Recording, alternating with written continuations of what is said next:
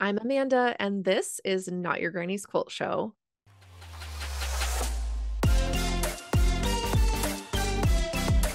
Welcome to today's episode. I'm so excited to have Lacie Messerly of Messy Quilts and the Grateful Thread podcast on the show today. Um, if you remember back to last year, we had Ashelyn Downs on the show, and she is Lacie's sister in law, and they do the Grateful Thread together. So um, I wanted to grab Lacie on the show just because she is a quilter. She's a great long armor. She does t shirt quilts and has done some occasional commission quilts for clients. And so, um, anyway, I loved chatting with Lacie. She's um, another millennial quilter trying to bridge that gap between traditional and modern and find where she fits. And it was just a lovely, lovely conversation. And I really hope you guys enjoy it. So let's get into it. Calling all fans of the show, did you know you can get merch? That's right. You can get Not Your Granny's Quilt Show merchandise if you head to nygqs.printify.me. You can shop merch from the store. You can get a t shirt, you can get a mug, you can get a sticker, you can get a sweatshirt, you can get a tote bag. There's so many great things, so many fun items to choose from to show your love for the podcast. So head on over to nygqs.printify.me today. Are you a patron yet? Have you joined the Not Your Granny's Quilt Show Patreon?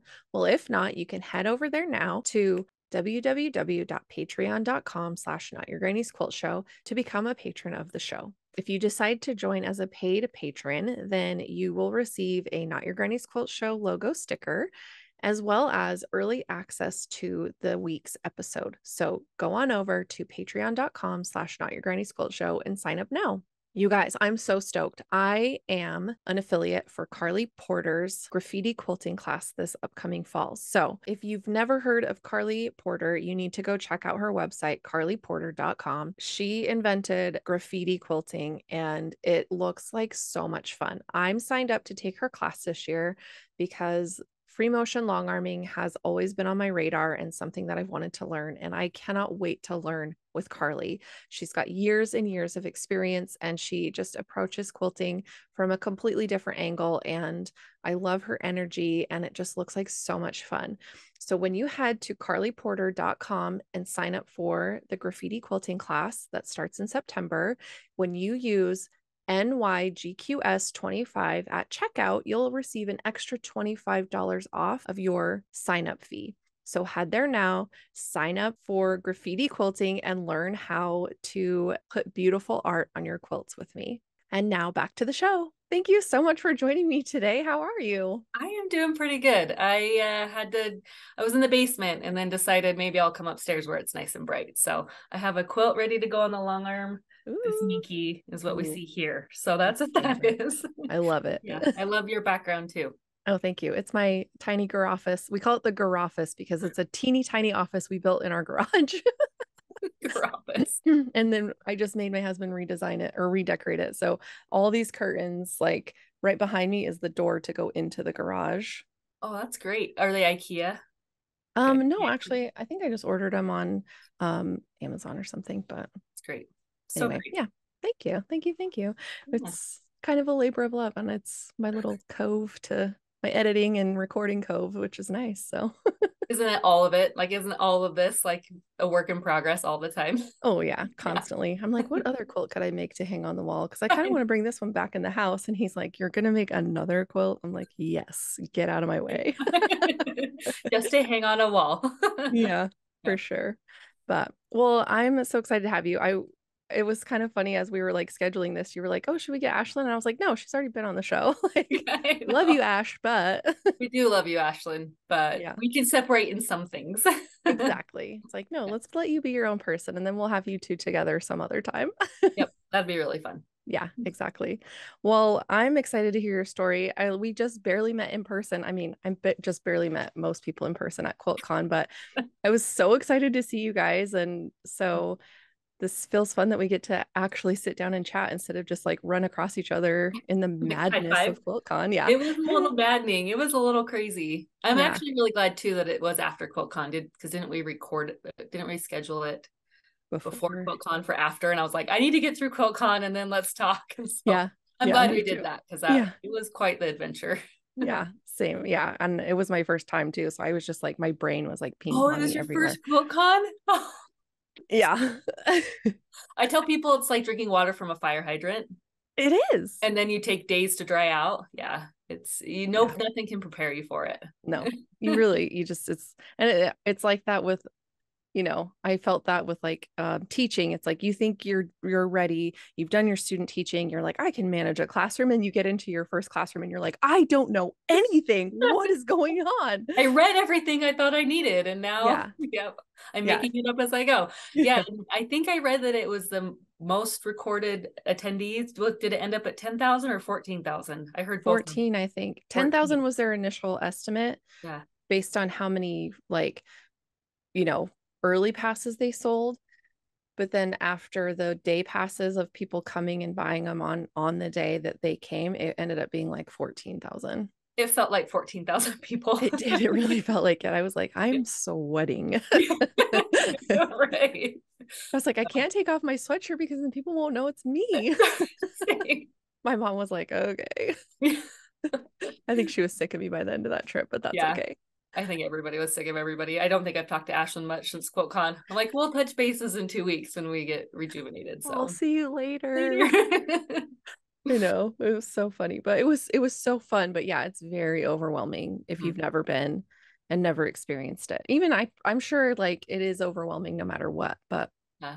that first time is like, holy crap! I was so tired.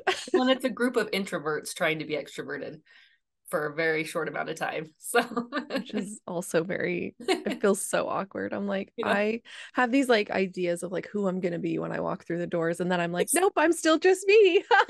like the wind's blowing, and I'm like, yeah. you're gonna recognize me now. It's just it's yeah. me recognizing everybody else. Yeah, like, oh my gosh, there's that person. Like, fangirling you. Yeah. yeah. No, I'm glad I got to actually meet you in person. Yeah, that was really fun. I was really excited. Um, okay, well, let's start from the beginning because yeah. I want to hear about you and your quilting journey My and where it all began. So, yeah. Um, so I grew up here in Utah. I'm based in Utah. Um, I was born in Idaho actually, and then ah. I, yeah, I moved here when I was two. So I've lived here my whole life. Yeah. And I lived in Sandy, so I haven't really moved anywhere outside of, you know, Utah. And I I think like most of us, like we were, I was very crafty. I have one sibling, only one sibling. He's five years younger than me. So I was the only girl in the house. And I remember in my early teens, you know, life, I would I learned to cross stitch, loved mm-hmm. to cross stitch. Yeah. At the time as well, it was in the 90s. And mm-hmm. so um the wood signs became really mm-hmm. popular. yeah. But that was before the Cricut machine. Oh and yeah. I hand painted signs, right? like and yeah. I hand painted like the home sweet home. And like that's what I gave for gifts for Christmas was you know these wood signs that had like a border around it and hand painted yeah. and I mean, they look cheesy now, but that was, you know, kind of my outlet of like creativity and my first thing as far as like arts or anything like that. And so mm-hmm. um, I did cross stitch and painting. And then um, in, in my late teens, that's when scrapbooking started. And in Utah, it was scrapbooking mecca, right? Like yeah. the, the, we had scrapbooking conventions, just like QuiltCon. It was scrapbooking all the things. So I had all the paper. In fact, I think I still have like totes of just like paper and like printables and all the things, you know. Yeah. And so I and I and I did band in high school and so I was never I was never the sporty people the person. I wasn't mm-hmm. into sports. I was definitely towards the crafts. But again, it was the 90s and my parents did the best they could. They just didn't know how to nurture that artsy side of me, you know. Sure, yeah. So I didn't really I didn't take art classes. I didn't do anything like that. And um and so after I graduated high school, I was working at the grocery store and I just kind of like didn't really do anything. And then you're in your 20s and I'm going to college and trying to figure out my life and um, all of that creativity just I never really did anything. Mm-hmm. Um, and I just my years from 20 to 25 were just kind of like, you know, figuring out my life. And I met my husband at 25 which is late for Utah, you know, a little bit later for Utah standards. And yeah. um at the time my my mom and dad had gotten divorced and my mom started quilting. She's like, mm. you know, I I love this hobby. It was kind of her outlet and what she was going through. But I didn't have really the capacity to really do anything at that time because again, I was in my early 20s. So met my husband and then sure enough a couple years later I get pregnant with my first kid. Mm-hmm. And like a lot of us, suddenly I instead of working all day long, I'm sitting at home with two babies and what am I going to do with my life, you know? What yeah. bored, what am I going to do? And that's when I approached my mom and I said, Hey, can you teach me how to quilt? Just like many of us, right? Yeah. Um, and so my mom at when I was about 31, so in 2015, that's when I officially opened my Instagram. I, you know, I told my family, like, I'm going to open this Instagram account and anything that I do for quilting is just going to be on this account. Mm-hmm. You know? Um, and so that's kind of how I started.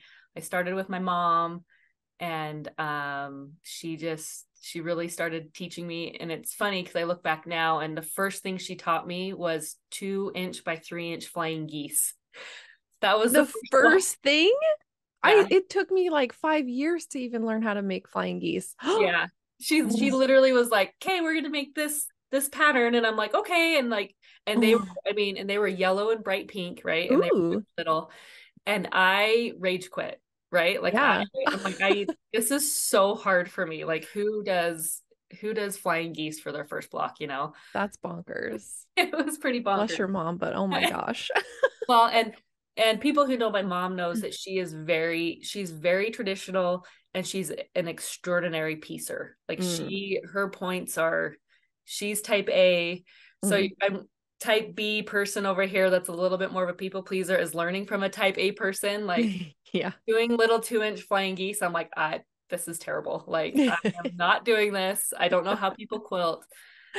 And oh so um yeah so in uh in 2015 when i'm like okay you know what? I'm gonna try this again. Like let's start from scratch. Can you just show me more can you show me basics? Can we like yeah. go back to the beginning and I need so, to learn what even a seam allowance is, like before I'm doing it, flying geese. Yeah, for sure. And I think like beginners forget that. Like you forget as a beginner what you have to learn, you know. Yeah. You don't know what yeah. you don't know, kind of. And so I we went to a local quilt store and they had a kit on the wall that was called I think I actually have it. I should grab it. It's that quilt right there. It's so, and this was literally my first quilt, like squares on squares. Oh, perfect like though. Little, yeah, this little lobster quilt. That's really and, cute. And that's when I learned, right, rows and columns. Mm-hmm. And it was at that point when my mom like had told me rows and columns that it it clicked in my brain, and I'm like, oh, you make blocks, and then you sew the blocks together. That makes sense. Let's do this. Yeah. Um, so in 2015, I started block of the months and would go to my local quilt store and get your block. And then, yeah, so for about five years, that's what I did was just really learn the traditional way of quilting. Wow. Kind of cool. Mm-hmm. While my babies were little, right? Like, yeah, I had a newborn and a two year old and just would kind of sew when I could at the very beginning in 2015. Yeah. Mm-hmm. Wow. Yeah. Wow, what an intense way to learn. I think if I, I mean, I kind of had an intense intro to quilting too, because I decided to make a huge, a twin size quilt as my very first quilt. Like, no bias seams. It was all like the, I, do you know the yellow brick road pattern? I think I have that one too. Yeah. I think that was one of my first ones too. Yeah. Yeah. And cause, and my friend Jen was like, oh, it'll be so easy because it's all like rectangles and squares. Uh-huh and it is easy if you're if you have any idea what to do. And maybe if i had made a baby size it wouldn't have been so bad but it literally like from start to finish like we got to her house at like 10 a.m and i didn't get home until after midnight because we were like they're like, you're gonna finish this quilt top today, and I was like, am I? awful. Anyway, hold on, so, I have to sew. I have to cut this apart to then sew it together, then to put it together again, and it's still not done because then you have to get it quilted. Exactly. Yeah. I was like this hobby. I went home and sobbed. I was just like, what is going on? yeah. Oh my gosh. Well, and okay, so then you had your little babies, and you were just kind of sewing as you could yeah. find time. And so, was there anything like, was there anything in that process that really like stood out to you that made you go, oh my gosh, I can like like that push your creativity or was it just more like focusing on the skills and like the basics of like i'm just going to make this because i know it's going to help me learn and yeah um, that's a good question i i was making stuff just to learn and again it was you know 2000s i'm i'm 40 and so i'm right in the middle of where i feel i learned traditional quilting and then there's this modern movement right and mm-hmm. so in even just in 2015, the MQG was still really new. Like QuiltCon had just started. All of those things had started that I didn't really know about. Yeah. And so I was making quilts because I make quilts to gift people. Mm. That's that's why you make quilts. That's how I was taught. That's how my grandma taught me. That's how my mom taught me was why would you make a quilt for yourself? Mm. The only time and so for the first couple years it was all my friends were having babies, so you make a quilt. That's what yeah. you do is you make quilts, you make charity quilts. I did block of the month, I did classes, I guild hopped, mm-hmm. and it just was never it never was in my mind of oh, I can make a quilt to show people.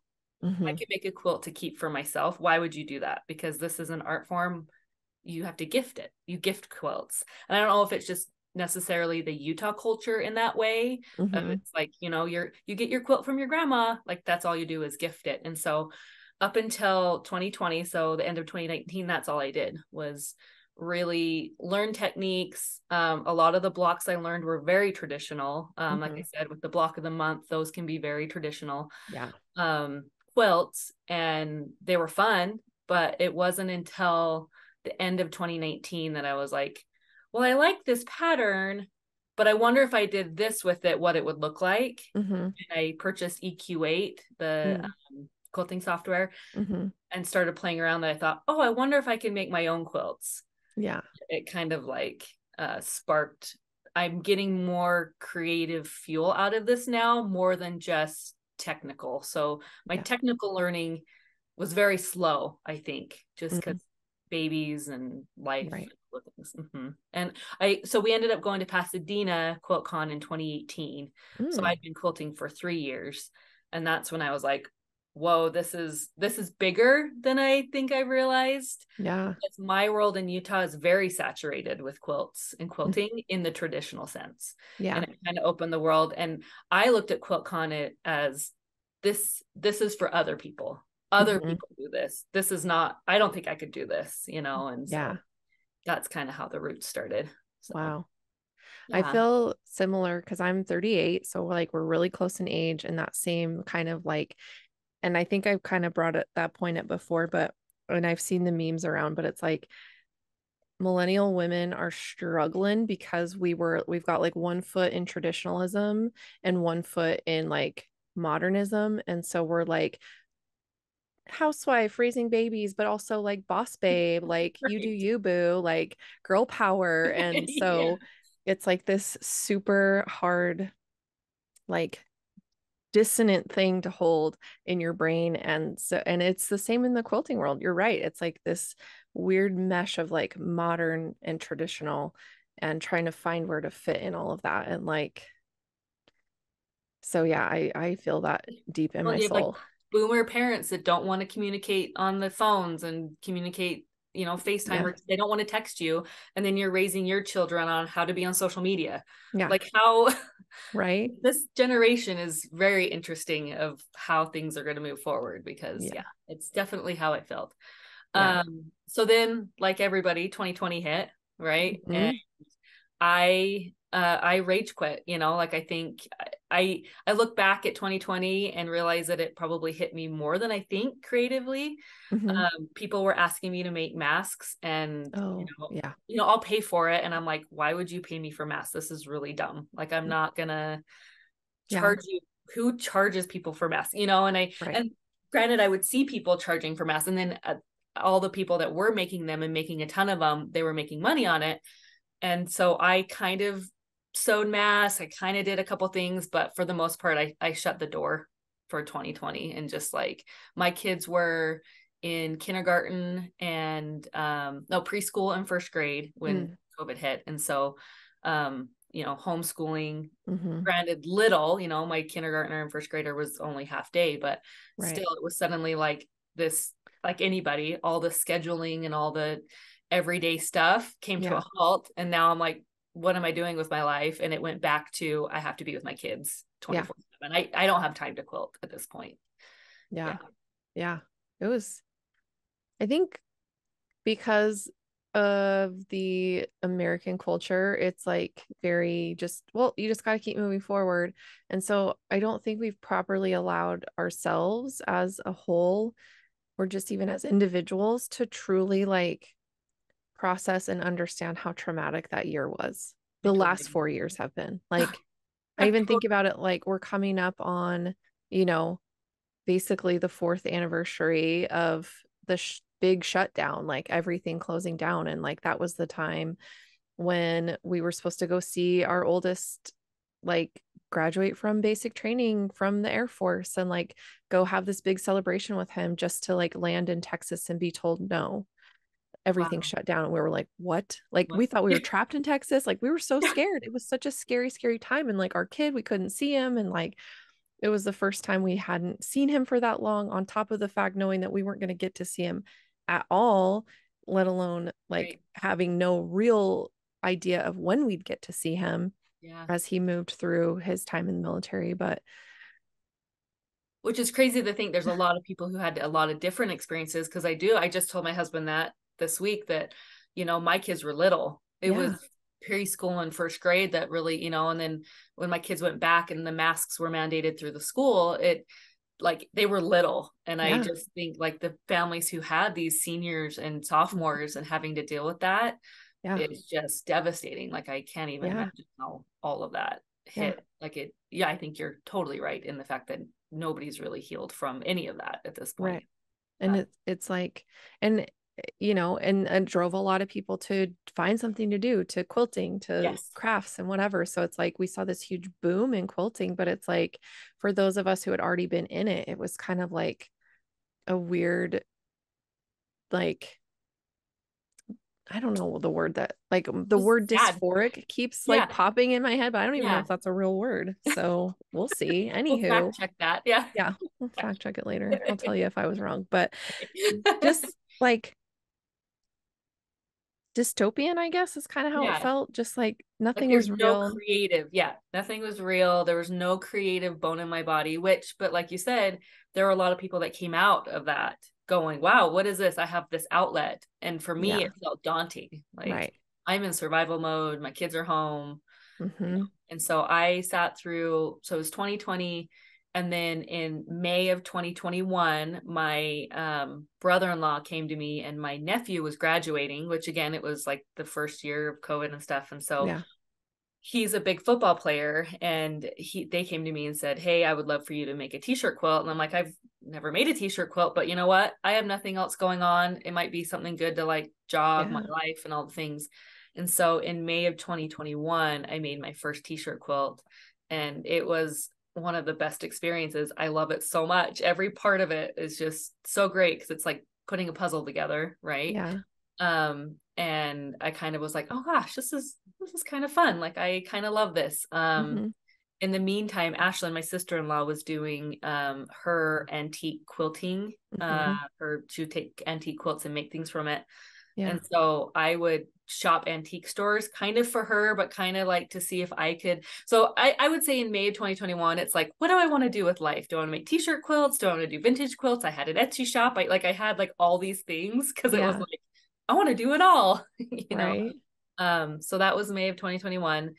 And then in August of 2021, I had a client reach out to me on Instagram and say, Hey, I see you're a quilter I have this idea for a quilt. Would you be willing to make it? Mm. And it was a pixelated quilt. It's my lips quilt, is what I call it. And I'll send you a couple pictures. Um, it's called my lips quilt, and it was pixelated. And I was like, and this is super cringy, so don't come at me. but I told her, I said, you know, I've wanted to get back into quilting. This is going to be a good way to like um kind of get back at it. Send me the fabric and I will do it for you for free so that just was like i yeah. i just like i wanted to get i wanted to do it. It was a cool concept. Um and so her and i collaborated and made this quilt is pixelated of lips because it's for her son who had like a gap tooth. And so she designed it and Aww. I from there. And that's what really kind of was like suddenly I'm like this is not your modern quilt. This isn't what I learned all those years ago. This is cool. Yeah um and then that's kind of when I started springboarding off. I think I really like this new way of looking at quilts while keeping my traditional roots. And so yeah. yeah. That's awesome. Yeah it was really fun. For free. um, yeah so that was 2021 was the lips quilt. And then in march of 2022 um, I had people asking me about the t-shirt quilt because I had posted about it and do you yeah. do t-shirt quilts and can you do it? And that's when I thought, you know, I should just get a website because people are asking me the same question over and over again. Right. So I'm just gonna link here. So I opened my messyquilts.com in 2022 and it's messy for Messerly. My last yeah. name is Messerly. um, and so March of 2022 was really full of t-shirt quilts. It was mm-hmm. really packed. I was not prepared as a business owner. I took way too much on. It was way too stressful.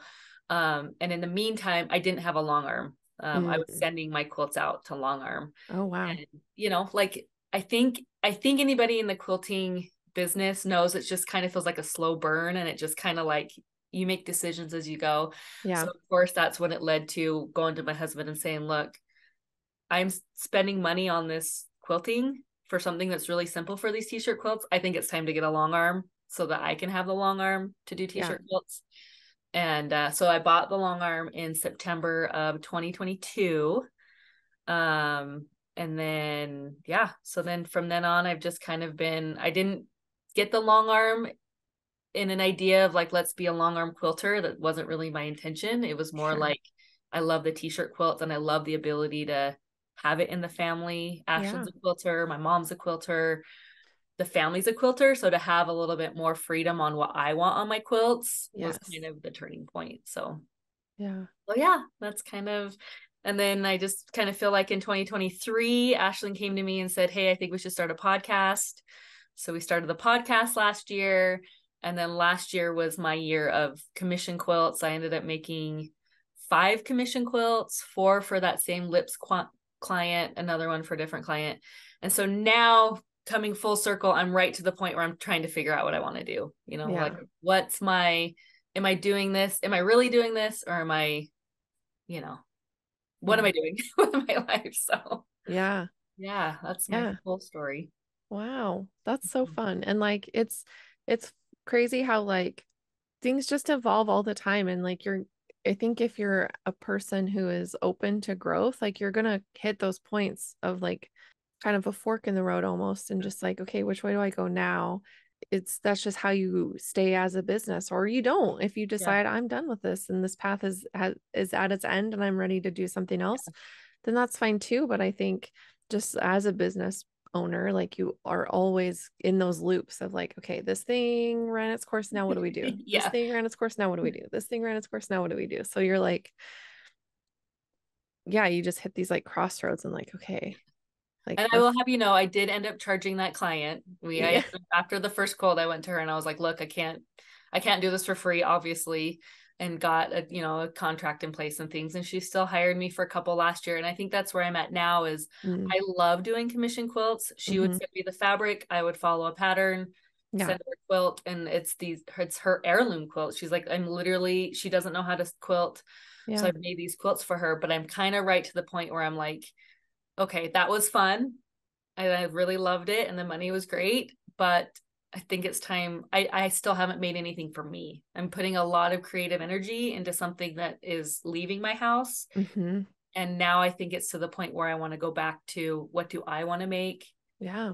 What do I want to see? What's going to come out of me while mm-hmm. running a business of a little bit of long arming, a little bit of t-shirt quilting to keep the keep the money coming in for fabric and then yeah. let's let's see what I can do with what I want to do. Yeah. And I think it's important to to honor those things that you want. I think when we sacrifice our own wants and needs for the service of others only, and I'm speaking from experience, so I'm not just like pulling this out of my ass, but it gets you burn out so fast. And yeah. I for the, you know, the IG quilt fest or whatever, day seven, was about lessons learned and like that's been like my biggest life lesson is saying no and only doing the things that really feel like they're going to be valuable to me as a business mm-hmm. person mm-hmm. or as a quilter or whatever. And so, but as a business owner, it's hard because you're like, okay, well, I need to keep my business going, but also,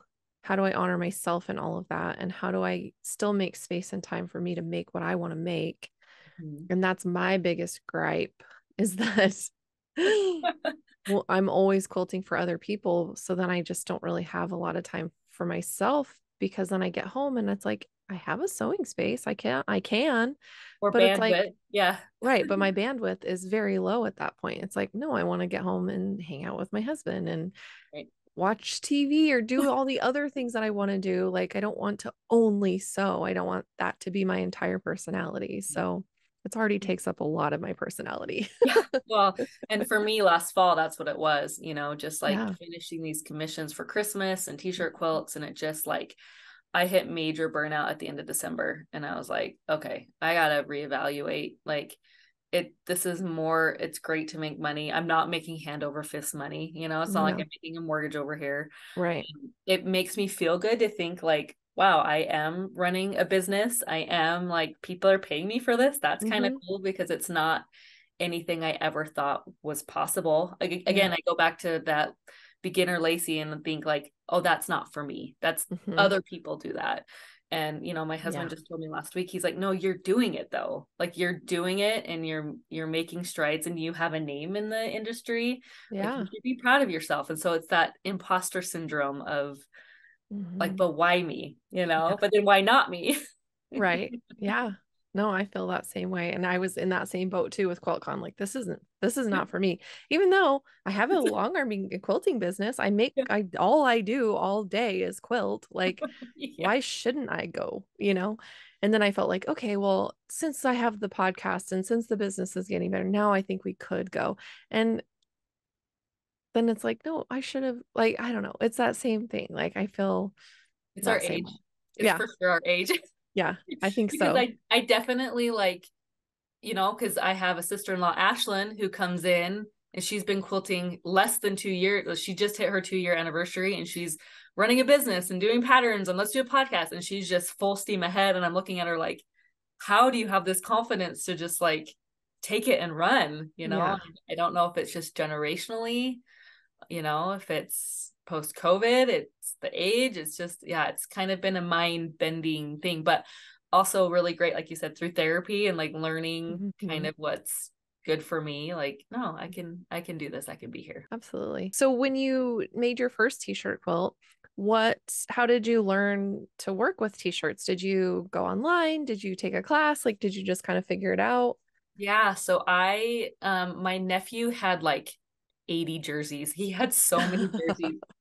and um my and it's funny too because like I said my mom taught me very traditionally mm-hmm. and it was like the first time I said I want this to look like I wanted the quilt to look like you just threw a bunch of like it's in the middle of the corner of a, a high school kid's room, right? Like, yeah. oh, there's his jerseys. Like he just threw it in the corner. It's kind of what I wanted to picture it.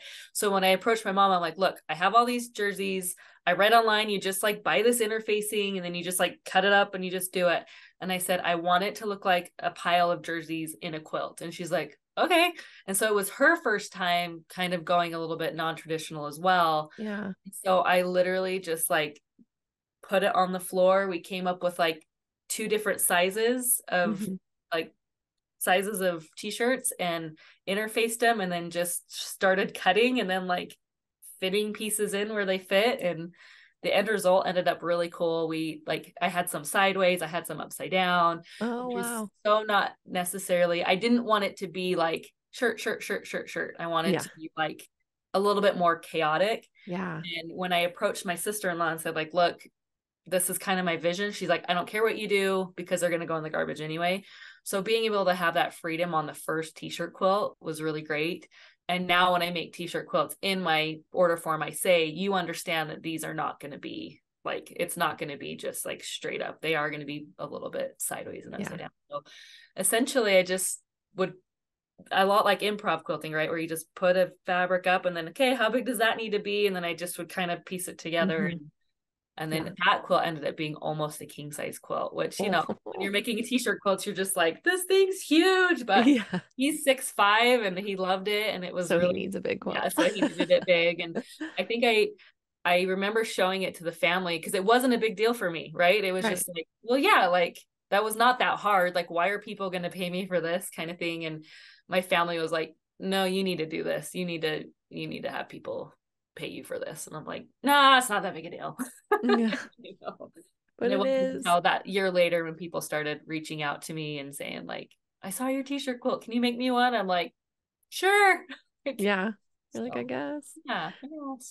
Yep. It's so fun. Yeah. I don't, well, like my mom has been sewing like all of her life. And so she's, but didn't really get into quilting until like a couple years before I did. So she has so much experience with other fabrics and different, you know, apparel sewing and home decor and all these kinds of things. So like her approach to quilting has like really helped me, but uh, like the only reason like either of us feels good about doing t-shirt quilts is because of that knowledge of like knowing how to work with other fabrics okay. and like knowing that you need the stabilizer and all this stuff like she already knew all that stuff mostly and so we were able to jump in and there's like we get a that's like our biggest request is memory or clothing or t-shirt quilts because people don't do them like yeah you're like, yeah. I can't find anybody who's willing to do this for me. And we're like, we'll do it. It's like one of the easiest things for us to do. We love it. Like, and we're like you, where we don't just do a grid of t shirts. We like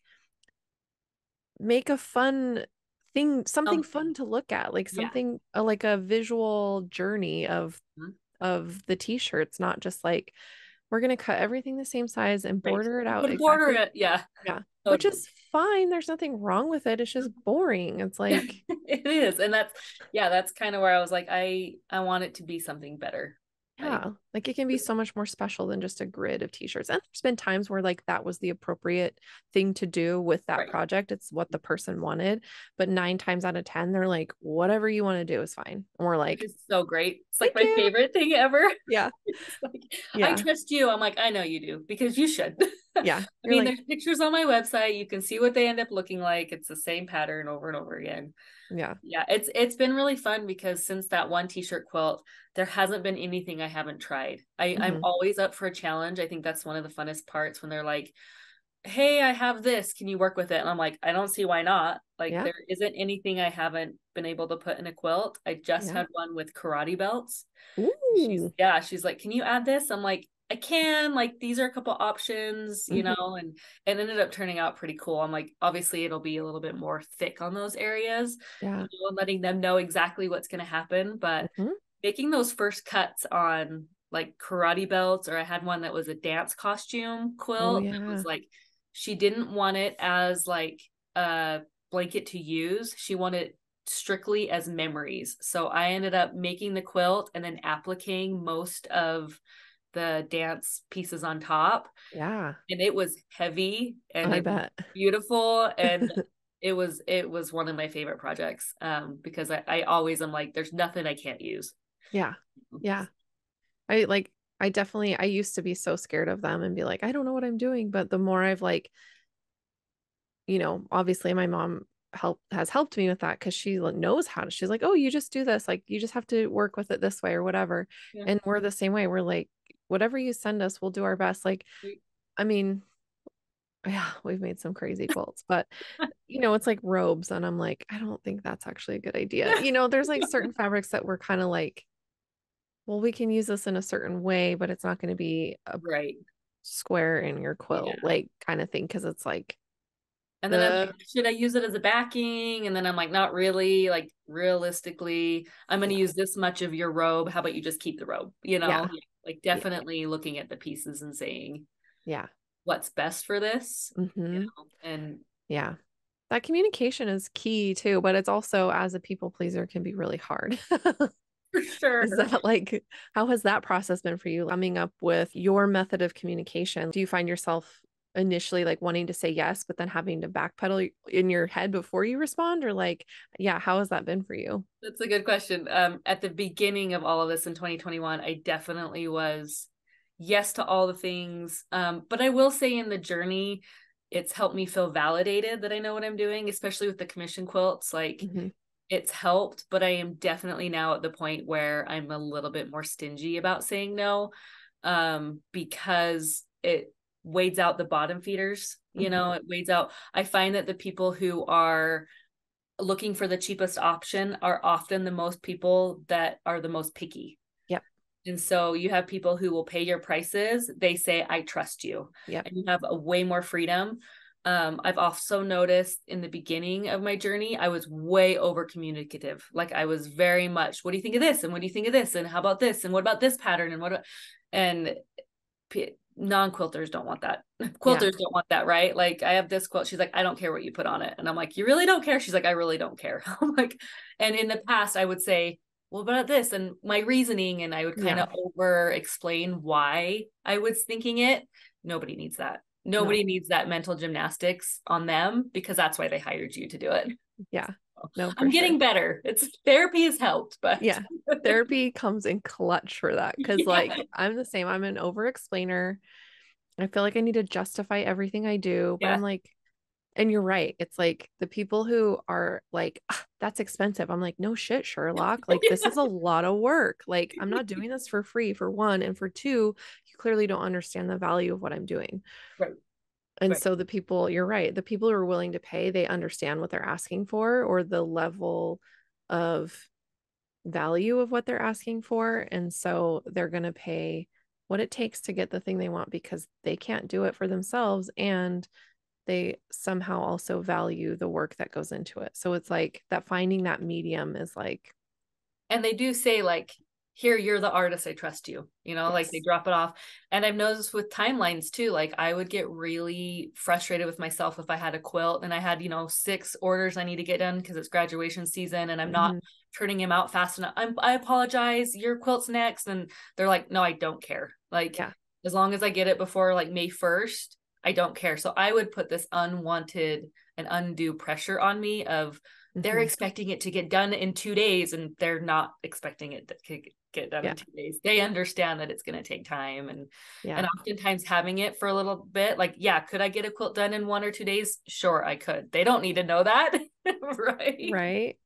Yeah. Well but that's the thing too is like if you're working at that pace which sometimes i am which sucks but it's it's exhausting it's hard because you're just like it does take creativity and it does like you mm-hmm. can't rush certain parts like it just takes how long it takes to sew a seam it takes how long right. it takes to cut fabric out it takes you know it's like everything has its own like time frame and some things are like oh this is really basic and easy and it can go really fast and then other times it it becomes more complex because once you start working with the fabrics and with the yeah. you know if, especially if it's a t-shirt or memory quilt you start working with the items and you're like oh okay. Like yeah. yeah you got to take more things into consideration and and yeah i find the same thing. The only do- timeline thing that pisses me off is etsy so because once somebody places their order it's like okay now we're on a time crunch and we've we're like okay 10 weeks but that's like you know for a ship date that's the longest yeah. you can set on etsy and even still sometimes that's not enough for certain projects and it's like yeah we get dinged for it so it's like oh. so ah. hard i know that's why like etsy was really when i did etsy in 2021 i was like i don't know if this is where i want to be like it's hard yeah. to manage that side of it it really again is. i didn't jump into this going i'm going to start a business here's right. branding material here's my website here's you know I, I look back and think i wish i would have changed my name you know like it's, mm. it's messy quilts and sometimes people don't really know what that is and i'm i'm considering changing it but people know me by that and everything's you know and so yeah. it's I think if I could go back to 2021 Lacie, I probably would have had a little bit better business model going into sure. it. Mm-hmm. But at the same point, I'm proud of myself for being mm-hmm. here because I don't know if 2015 Lacie would have been like, dude, you have people, you have strangers asking you to make quilts. Like that wasn't ever in my realm of quilting. Yeah. Yeah. It's hard. And like, it's hard to be on a platform like Etsy because although that's where most of my business comes from, I'm also extremely frustrated by them. So it's like how do I get people to go to my website and order through me directly, you know? It's so, hard. Yeah. A lot of Instagramming, which is a whole nother beast, right? Being yeah. like we talked about, social yeah. media is moving so fast. And I mm-hmm. just since Christmas, I've just I've kind of taken a plunge in well, unfortunately for me is i had a video of me zigzag stitching go semi semi viral it never hit a million views but it's up there. Yeah. And it had and it literally hit the spaces of the internet world that like didn't need to be there. Oh. so my follower count like doubled in like a month which people like are you happy about it? Yeah i i shouldn't complain about followers but the followers don't necessarily equal business right. because they're not there to follow you for your business. They're there they're a lot of them are bots right? So it's yeah. like impressive follower count engagement's really low. And so right. that's the part of the business that i am really struggling with as a 40 year old is mm-hmm. what does that look like and how do i manage all that? Yeah. Yeah. I'm i'm in the same boat. It's like that's part of my job is the social media for the business but i'm like i don't know how to I don't know. I don't know what I'm doing, you know?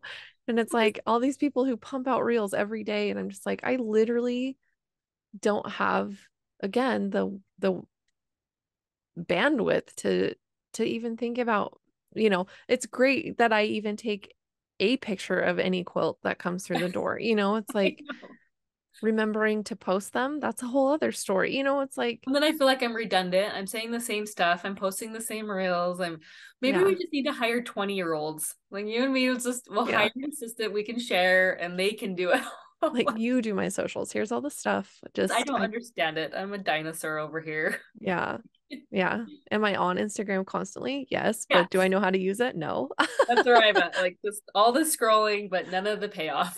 Yeah yeah it's it's tricky but ugh, it's like i don't know. I like i made this podcast for the very reason that we're talking about just like trying to find that like who are my people? Because i'm not i don't like the traditional minded i mean let's face it older ladies who look their nose down at you and treat you like you're a literal idiot for making yeah. tr- like modern quilts or wanting to do things differently and i'm not young i'm not young so I actually looked at my hair today. I'm like, am I gonna? I think I'm just gonna let my grays come in. I think yeah, it's time I, to be done doing my hair. Yeah, that's, I got that's the age gray. I'm at. Like, I've got a gray. She's up here somewhere. I named her Lawanda, and I'm like, I'm just. I haven't dyed my hair since like 20 Good for you, dude. No, like 2008, 2009. That's awesome. And now that I'm starting to see a gray here and there, I'm like, it's just I what am I supposed to do about it? Like I'm literally not going to spend the money to have someone cover it up for me. Like no. get what you, get. Grow it out some point. No, yeah. I actually had an older woman when I showed them the lips quilt. Yeah. she'd drawn it up and I was so excited about the quilt because it was my first thing. And I'm like, she's asking me to make this. It's a new technique. Like, this is so exciting. She mm-hmm. actually looked at it and went, ugh. yeah. Oh, the design, not even the actual quilt, just the design. So rude. Like, yeah. And so it's like, I definitely, in those early days, really got in my head and i'm realizing now how in my head i was mm-hmm. and still kind of am it's a little scary for me to start making my own stuff again yeah um, i think that's partly why i i did a lot of commission quilts last year was it's these people appreciated this is here take it you have it and now i'm realizing okay let's let's bring it back to Lacie let's yeah. I, I i'm almost scared of making something for myself in fear of judgment yeah know? Yeah.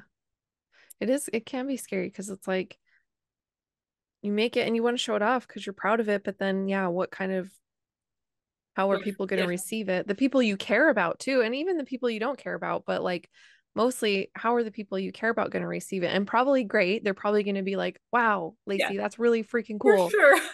but it, I, I'm with you though. It's like I want to make I have all these like patterns I want to make and I have all these fabrics, but I haven't done a thing with them because I'm again, I'm terrified. Like what if I made a bad choice and my friends don't like it? I'm like They're gonna like it. And if they don't, who gives a shit? It's for me. Like right. Who cares? It's my thing. Yeah. And yeah. just being that in between of because the modern designers coming out now, like watching yeah. what Ashelyn produces is just yeah. phenomenal. I'm just like, how do I compare with that? And then I have to center myself and go, that's not that's not what this is about. That's not no. what the community is about. It's not about comparing. It's but unfortunately, that's what unfortunately some of the older generations was is that it was very much well i know how to quilt i'm blessing you how to quilt mm-hmm. it's this really secret society and now you can learn everything on youtube right it's not this secret generational yeah thing it's everybody can do it and it should be that everybody can learn it and everybody should be in their own lane you know yeah yeah yeah for sure so, in your ideal situation, no fears, no mm-hmm. time constraints, like what do you want to make for you? Oh man, that's a heavy question. You're welcome. Therapy. Yeah, right. that's funny. More. That's actually a question that Ashelyn asks me all the time. Really? Yeah, she she's been really helpful for me. I made a black and white quilt um that got rejected from QuiltCon not last mm-hmm. year but the year before. Mm-hmm. And that hit me pretty hard. Um part of it was that I put one quilt in, it didn't get in. Ashelyn, it was her first QuiltCon and she got two in. Mm-hmm. And so that it was hard, right? Like it was, I had to look a lot internally in myself and just say it's not the reflection of QuiltCon of if I'm a good enough quilter. Right. And Ashelyn, like you've met her, she's mm-hmm. already has an artistic ability anyway. So for her to find a medium and flourish is really beautiful. Mm-hmm. Um, since my story has been very much with the traditional quilters in my brain, I've been very limited on what I'm able to do. So um, I have a quilt that I just designed a couple days ago that I'm really hoping to produce this year. I'm really excited um it's actually my i got a tattoo in quote at quote oh yeah um, cute and so i'll probably make something with that block to just kind of like jumpstart what i want to do like yeah. what my voice is as a just as a person and not necessarily to compare to the younger generations like you know you never want to come in and be like i'm better than you. Um, but just to find my validity myself is yeah. sort of my goal this year. I i'm taking much less custom quilting. I've mm. you know i'm not doing that anymore. And like i said i'm just only taking what i can to manage to kind of keep the doors open this year and just really trying to recenter what quilting means to me. Yeah. Yeah.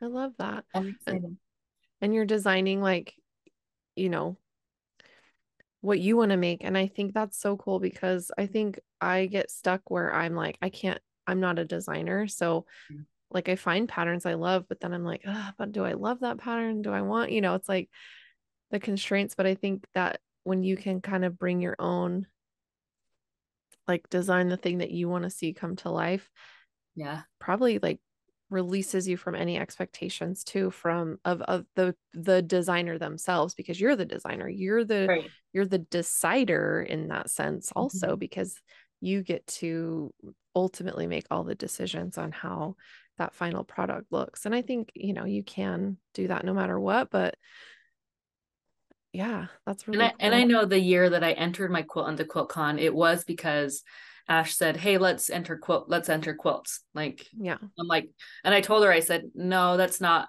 that's not what I do. Like I can't do that. That's mm-hmm. for other people. That's that's something that I attend. Why would I be part of it? So I entered it. I finished a quilt and entered it. And I look back now and think, did I really want to enter? Was I really mentally prepared or was I doing it out of, oh yeah, let's just do it. It's no big deal, you know, kind of yeah. thing. And I think now going into it, having a little bit more intentionality around what are my what's my purpose yeah. stuff that i want to make myself and what's my purpose. Now granted there are i'm sure there are people that enter stuff into quiltcon that's like oh yeah i'm gonna enter these five and see what happens. Yeah but to me in my journey as far as quiltcon and the traditional quilting and where i'm at now mm-hmm. is i never felt like i was good enough to be in quiltcon so mm-hmm. getting rejected was like oh see i told you i'm not good enough but right. i didn't enter it under the understanding of no i'm a great quilter yeah. i'm going to see if this gets in and if it doesn't it's fine right and so now having a little bit better outlook on it if that day comes again or I decide to enter a quilt, it's going to be a little bit more out of no, I'm great and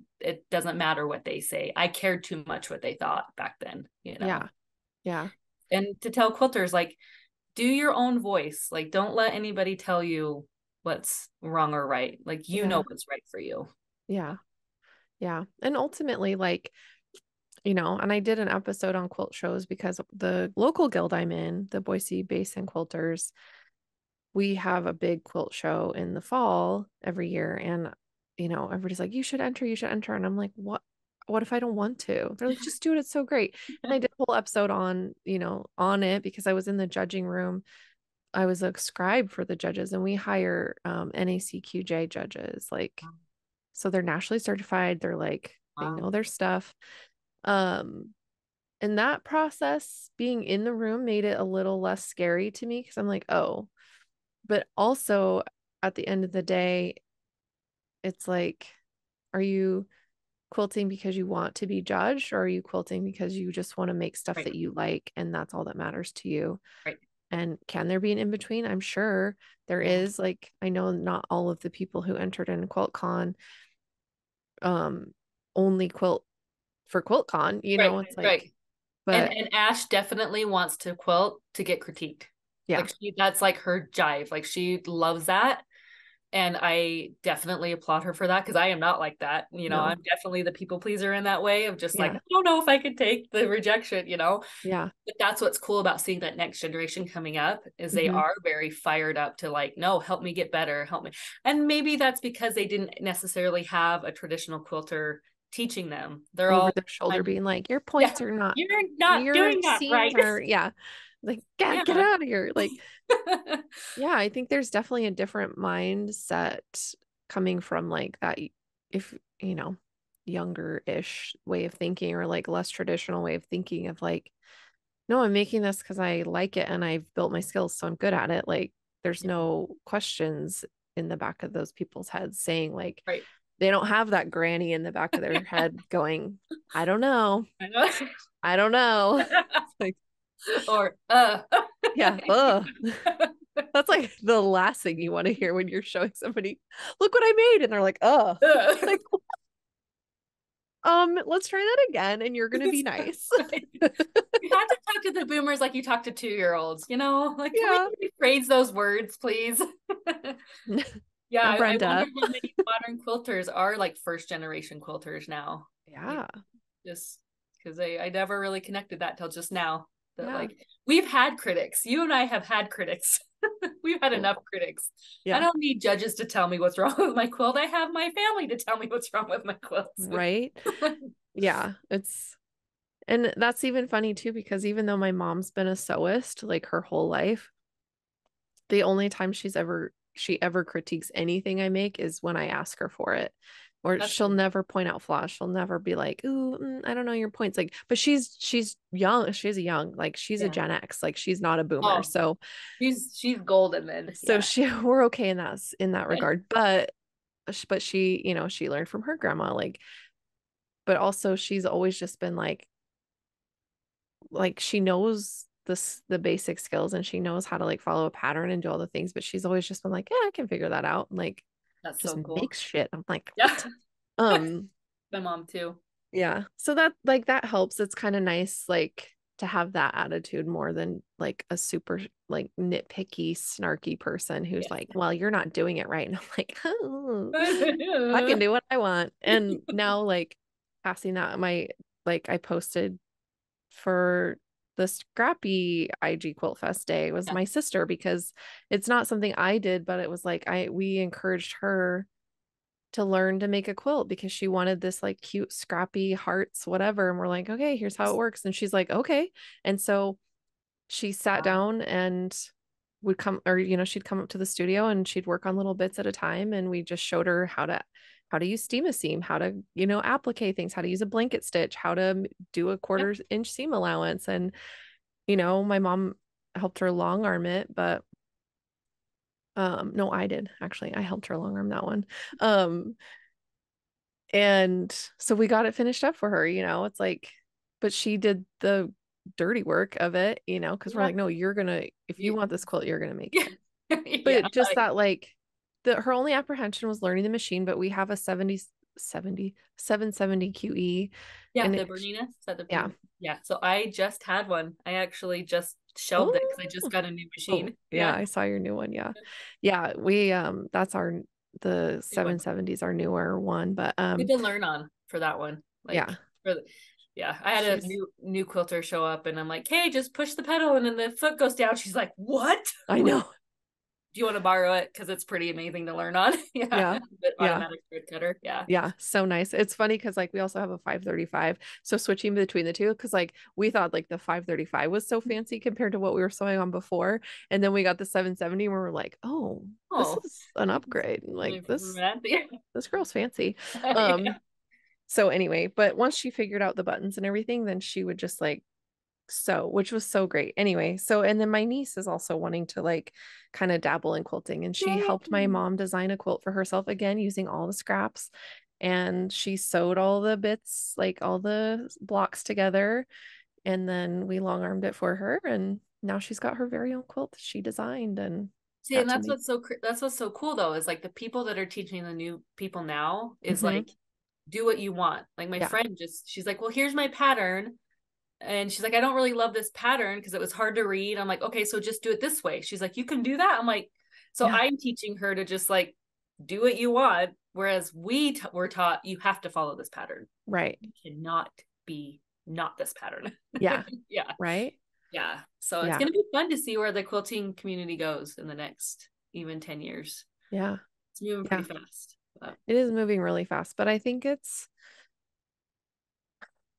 I think most of it's for the better. I think most of it is in the interest of making it more accessible and more yeah. approachable yeah. for everyone versus the select few who are 60 plus years old and make $65,000 plus a year right.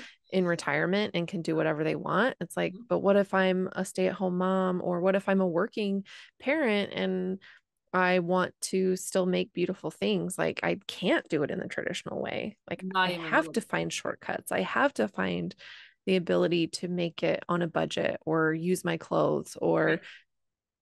so it's like it's interesting to see.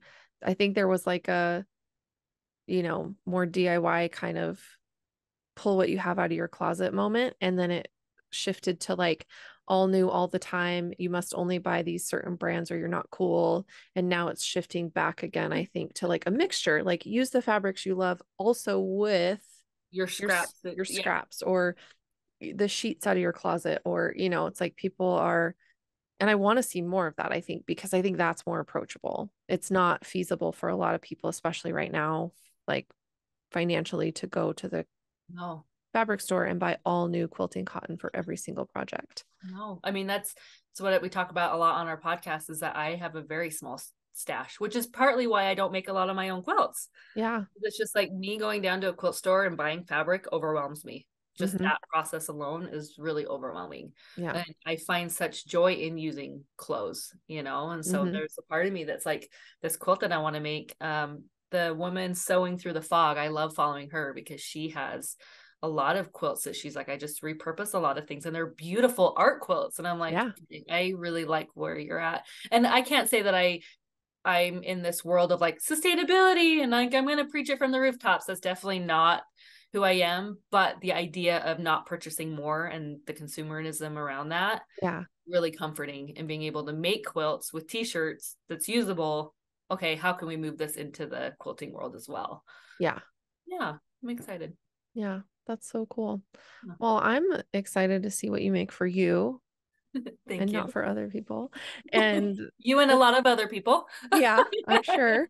I think it's it's fun too, like this kind of newer side, more modern, I don't know, whatever side of the quilt world where it's like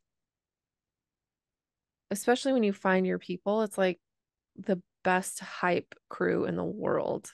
Yeah.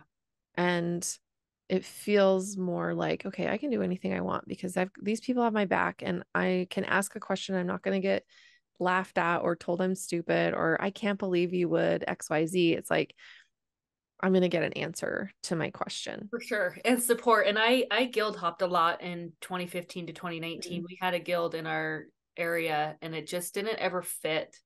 And then I finally joined Salt Lake Guild um, last year with Ash because Ash was like, "Do you go to a guild?" I'm like, "I've been to it a couple times, but I just don't know how I fit." She's like, "Come on, you're going with me."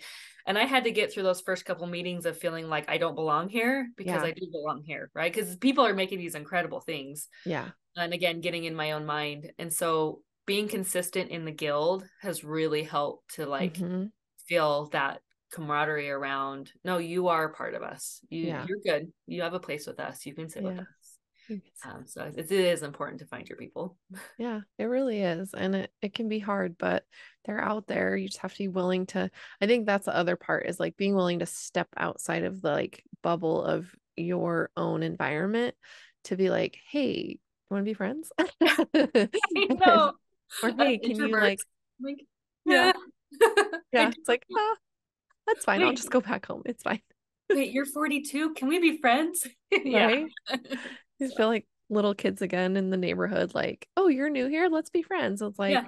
it was like that easy. Yeah, it's totally that easy. I think a yeah. lot of us make it more in our head than not. So if anybody ever sees us out in public, yeah, we're just as introverted. So come say hi. yeah, yeah, exactly. I'm like, just come, just come up to me. And also, that's really hard thing to tell intro- introverts to do because it's like, just as much as I'm introverted and don't really want to walk up to a stranger, but I'm like, no, you come to come to me. It's... Especially people you look up to. I think yeah. there's just that industry of like you learn from people online. Mm-hmm. And there are people now. I feel like I'm in the point in my life where people are asking me questions, and I I don't know when that transition happened where the student became the teacher. Yeah, but it's like this big fulfillment thing where I'm like, no, I'm still promise. I'm still just like a goofy like really yeah. introverted shy person so don't think i'm better than you like i yeah you ask me all the questions you want, you know, like yeah, I'm here no, for you.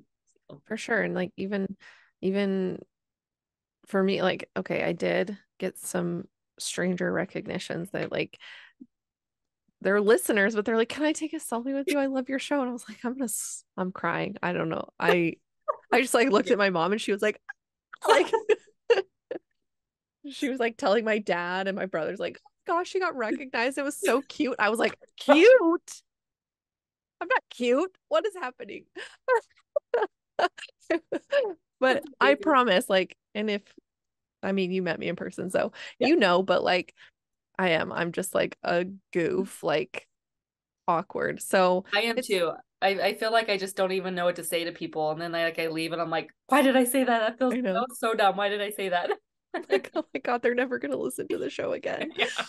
Yeah but you know, I mean, seems like everybody's still here. So that's great news. But yeah, it's like I want to be open to allowing other people the space to learn in the way that they need to learn because we don't all learn the exact same. And and I think that's kind of if I can like loop that together with my teaching background and like knowing what it's like to be in the education system, it's that same kind of group of people who are mad about the quote unquote new math. And it's not new, it's always, always been there. Just no one ever taught you how to do it that way. Which doesn't make it new. It's new to you, but it's not new to the right. universe. And so, um, so sorry that we're giving people options for how to problem solve. Like, there's right. not just one right answer for everything and like well then it's like oh wait that's how i've done math my whole life right, right. like that's kind of makes way more sense to me than my kids coming home doing it. I'm like well yeah that's how i did it. Is that not right? Yeah. at least yeah.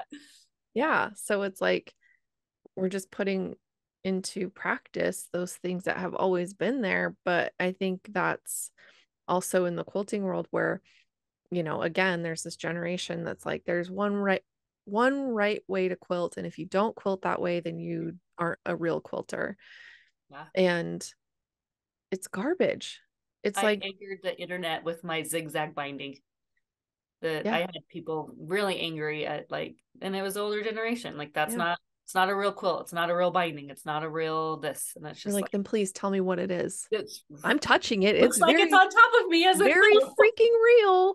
like quilt to me.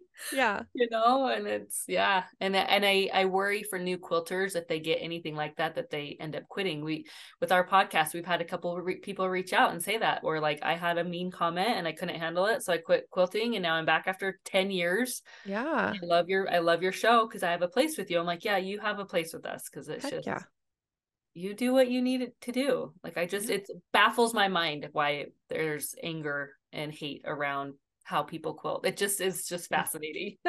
Yeah, And it's like, I can understand if it's like coming from a fear of losing their tradition, yeah. Losing the traditional ways, but there's so many people that are living in that traditional mind while still also being accepting of the modern movement. right. Right and y- you can do both. You can still love and appreciate and and make all your quilts in the traditional way and also leave space for people to do both are true. Yeah yeah both things can be held true at the same time. It's not one or the other. So it's a yes and. Yeah. Yep. and that's the space i try to live in which is it can be hard sometimes but i think also trying to step into that more challenges me as a person and it helps me continue to see where i can grow and see opportunities for me to to just learn more and not just about myself but other people Sure. and it's just that willingness to be open that i think yeah skips I- a lot of people i know i know facing having a sister-in-law jumping into quilting had to have me face like some pretty hard truths just about like where i stand and what you know and it's been really healing at the same point you Yeah. know and and like you said finding people who can support you and love you through that process yeah um you know and now i just like i high five everything ashelyn's doing you know big big jealousy. And i know um in barbie's interview that's kind of where she was saying about her custom quilting that like Yeah. for a minute it was hard to see people succeed. Yeah. But that's when you know you need to look at yourself and go okay what what do i need to grow on? If if i'm having this much hate towards what people are doing Yeah. what do i need to work on in myself? You yeah know? for sure. It's- everybody has their own lane. Just stay in your lane and we can all ride the freeway together you know No, exactly. It's like, and if you change lanes safely for a moment and try it out and you don't like it, then you can get back into your other lane and it's okay. Like it is, it's just like traffic. If you're if you're moving through in with respect of other people, Mhm. then everything's going to be fine. But if you're ignoring other people's path and you're ignoring your own path and making weird left turns in the middle of a five lane freeway, like you're going to hurt somebody right right. and yourself included because when you're when you hurt other people's feelings you're it's really it just shows that you're hurting on the inside 100% 100% but it still doesn't make it okay. Still Yeah. doesn't make me go you know what? I that comment doesn't bother me because i know it's just that person's inside pain. Like no that person took time to write me an email to let me know that they didn't like me. Like that is rude as hell. Like keep it to yourself so true I'm like, well, then this isn't the podcast for you. Keep on Right. moving on. Like, thanks for the unfollow it's not hard like Like- because that one comment could derail and that's i mean that's what happened to me for a Yeah. long time for you know it just Yeah. it derailed my ability to think what i did was even close to valuable and i'm Yeah. i'm grateful for the last couple years of my guild and ashelyn Mhm. to just like really help nurture this like little baby bird into like Yeah. no good and now I, i'm finally to a place where i'm like no i can i can take up space what Yeah. i offer i love what i offer Yeah. and i love giving back to the community and i'm excited to see it grow so Yeah. How exciting. yeah Well, thank you so much for joining me today. I've really loved getting to chat with you like this. I mean, again, we're in QuiltCon, we met each other in person, but then it was just like two, see you like- in two weeks yeah yeah, like just zooming past each other on our way to do other stuff. It's just, it's crazy because it's like you want to talk to everybody, but at the same time, you can't talk to anybody. So it's like, like longer than two seconds. Yeah, then you're hey i'll call you later. Yeah. Yeah yeah.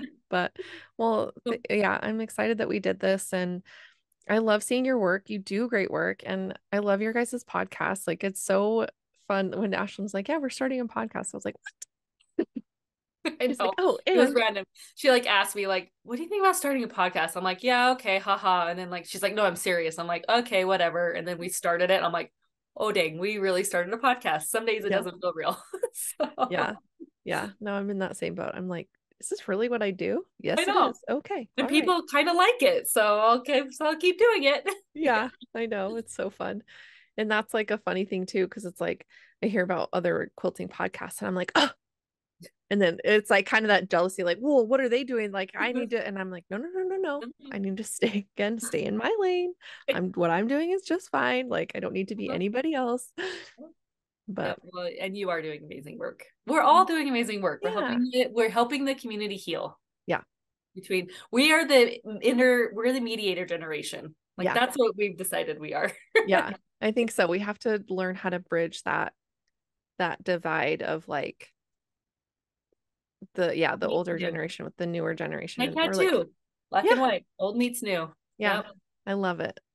The yin and yang of it all. But oh, great. Well, thanks again. And um, so you have your website messyquilts.com. Messyquilts.com. Yep. And your messy quilts on Instagram. Yep. Okay. I will put links to those places in the show notes. And otherwise, we'll just keep chatting through Instagram yeah. and hopefully we it. get to hang out in person. I'm trying to figure out how to get Ashelyn up here to teach a class. So well, I want to come up too because I want to check out Boise. So well, I have an Airbnb in my house. You can come stay in my house. That would be so amazing. Uh, I'm putting feelers out to leave Utah because I just feel like it just mm. yeah. We looked at Boise for a while, but yeah.